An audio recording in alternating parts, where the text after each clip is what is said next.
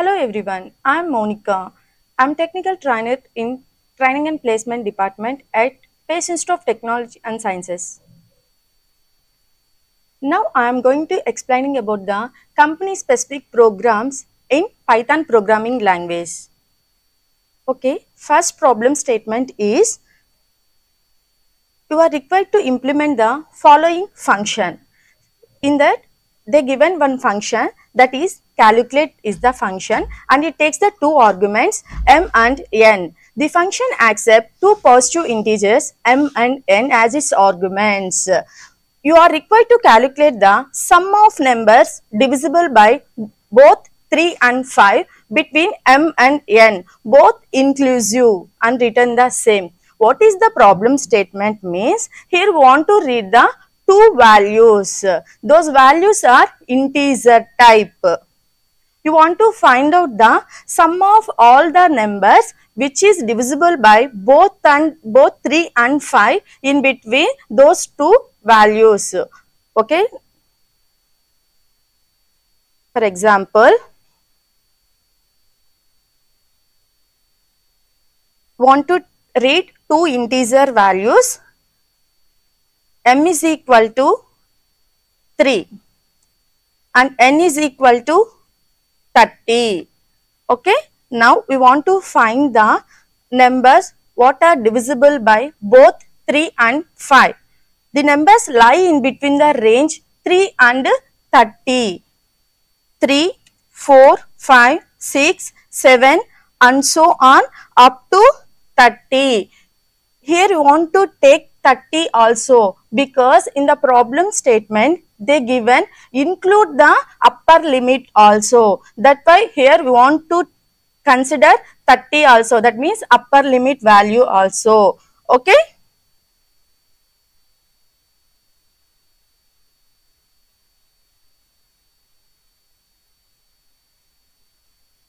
Now i am going to explain the, this program in editor Python editor IDLE. Now we want to read the two integer values. In Python, we use input function to read the input from the keyboard. Input function. Okay, by using input function, we can read the input. We can store that value in variable m here you can take any variable, but I am taking m. Now I am going to printing m value. Okay. Now I am executing before want to save that file.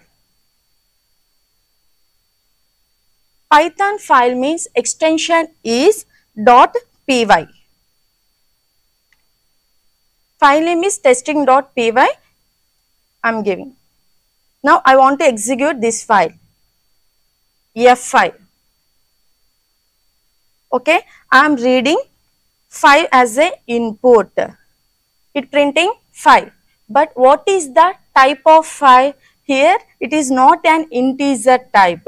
It taken as a string type because in Python default input function read as a string okay but now I want to perform the operations based on integer input because in problem statement they given read input as a integer. So here now now I want to convert string to integer. Here we want to use string conversion. Okay? By using int function I am converting string to int. Okay in problem statement, how many values we want to read? Two values. So, I want to read another value also by using input function. Okay. Now, I want to convert into integer. Why you want to convert into integer? Because default input function read as a string but want to perform operation on integer. So, want to convert string to integer. Present we read two values m and n. Now, what we want to perform? We want to find out the all the numbers in between m and n. How we will get the, all the numbers in between m and n? By using looping concept. Here you can use any type of loops for while. Okay, present now I am going to explain using for loop. For i, here you can take any variable. Now I am using i variable. For i in range function. Okay, range in range function, how many arguments we can pass means we are pass three arguments. One is starting argument, next ending value, next step. Okay, if you here starting value is m and ending value is n. In Python, we must and should follow the rule indentation. If you are not follow that rule indentation, will get the error indentation error. What is the rule indentation rule means want to give tab space after colon. Tab space is nothing but the four, four spaces. Okay. Now I am printing i because what the values we are getting in i. Print i. I am giving 2, 30. M value is 2 and N value is 30. What are what I am getting? From 2 to 29 numbers only I am getting. But in problem statement, I want to include the n value also. Here n is what? 30. Okay?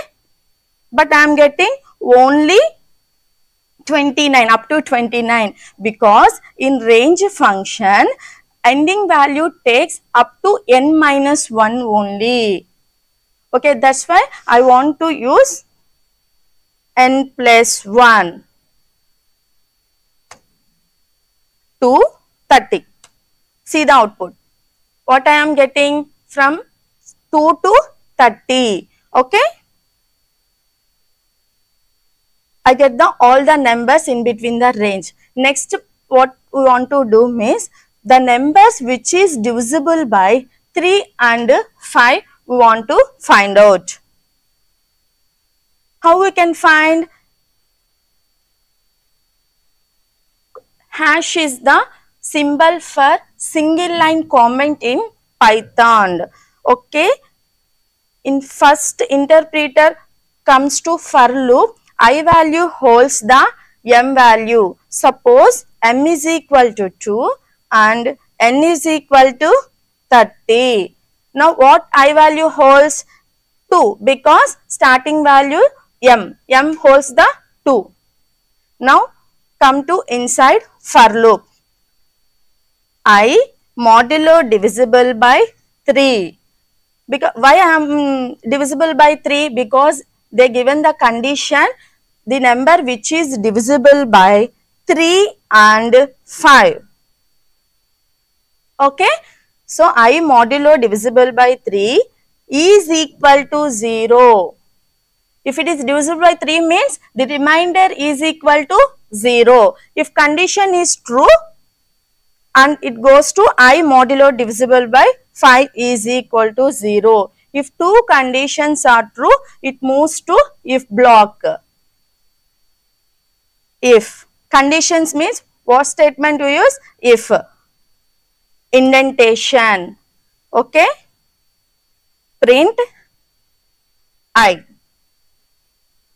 Now I am printing the numbers which are divisible by both 3 and 5 in between the range m and n. 2 and 30 the numbers which is divisible by both 3 and 5 is 15 and 30. But the problem statement is just want to print those numbers. We want to print the sum of numbers divisible by both 3 and 5. So, here just we print the numbers which are divisible by 3 and 5. But now we want to find out the sum of the numbers which are divisible by both 3 and 5. So, I just removing the print statement. sum is equal to sum plus i. But here you observe that sum is in different color because sum is a predefined function in Python. When you are declaring a variables or using the variables want to follow the rules. What are the rules? Keywords and predefined functions are not used as a variable names. That's why I am changing the variable name. Sum1 is equal to sum1 plus i. Here I am using sum1. Okay. I want to declare sum1 is equal to 0. Why I want to declare sum1 is equal to 0 means here sum1 is a local variable. If I not initialize any value, it will holds the garbage value. That's why I am initializing with 0. Okay. Just I am printing sum1. What happened? 2 and 30. Okay two inputs came. What are those? Initially, sum1 is equal to 0. When i is equal to 15, 15 is divisible by 3. At that time, same time, 15 is divisible by 5 also. So, condition is true. So, it comes to if block. What is the statement I wrote in if block? Sum1 is equal to sum1 plus i. Okay. Sum1 holds the sum1 holds the 0 plus what i holds 15. Now sum1 contains 15. Now again goes to for loop i value increments. i value increments to 16 and so on up to 30. When 30 came 30 also divisible by 3 and 5. So, if condition is true, it comes to inside if here sum1 is equal to sum1. What sum1 holds 15? What i variable holds 30? 15 plus 30 is equal to 45. Okay. Here I am getting two outputs. What is that 15 and 45. But I want to print the print statement outside for loop. Okay. Now I am executing. 2 and 30 and sum is equal to 45. Once see the problem statement. What they given sample input 12 and 50. Okay. 12 m value 12 and n value 50 what's the output 90 okay our test case is passed Okay. Another input is m value 100 and n value 160. We can check this test case also. m value 100 and n value 120. What is the output? 225. Okay. I hope you can understand this problem statement. It is a company specific problem statement okay